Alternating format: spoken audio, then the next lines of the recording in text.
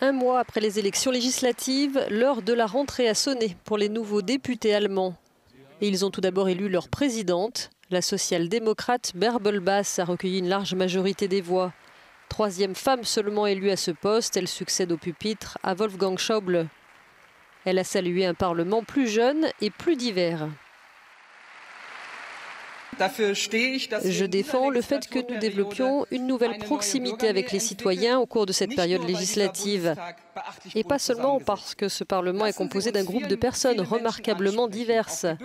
Il faut tendre la main au plus grand nombre et en particulier à ceux qui ne se sont pas sentis interpellés par la politique depuis longtemps.